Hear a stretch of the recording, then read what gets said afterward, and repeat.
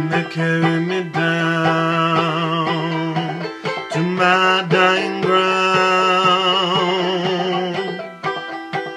Don't you weep for me when my time has come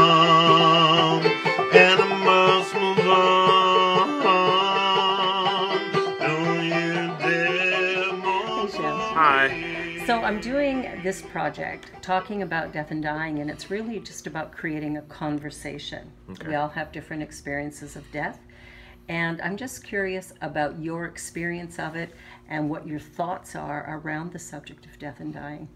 Wow. Um, you know, I for a long time have had a real fear of death because it is so unknown and you have no idea when it's going to come. Right. You have no idea how it's going to happen.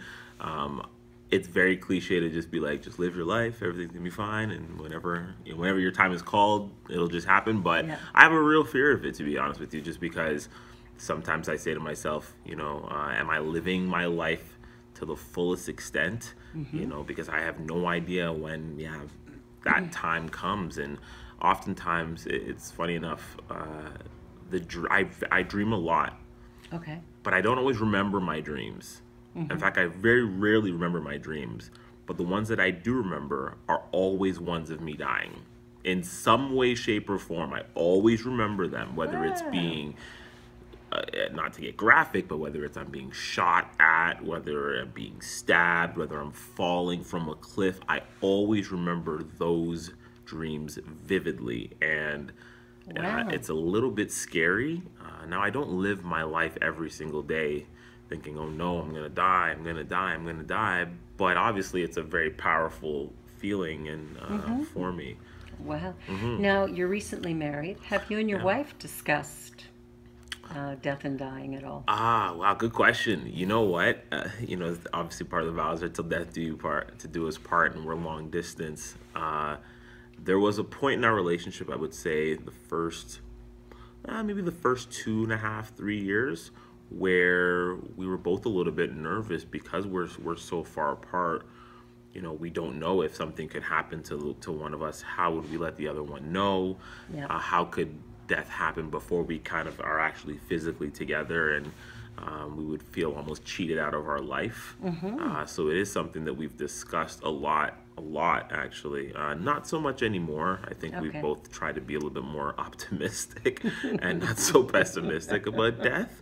Um, but I mean, I'm not even 30 yet next year, but I, it, it's it's a little bit scary to think that to, to think about it, and I think also to be quite frank, um, with a lot of the things that are that have been happening in the states with police violence and and terrorism and stuff like that, I think that's definitely contributed to me thinking a lot more about death even at this young age. to be Mm, of honest. course, Mm-hmm. of course. And what about uh, with your parents, uh, your sister, other family? Have, have you talked about it at all? Do your parents have a plan, or do you know if they have a plan? I don't know if they have a plan. I do think about my parents and, and their mortality. Um, they're both older now. Uh, they don't look it.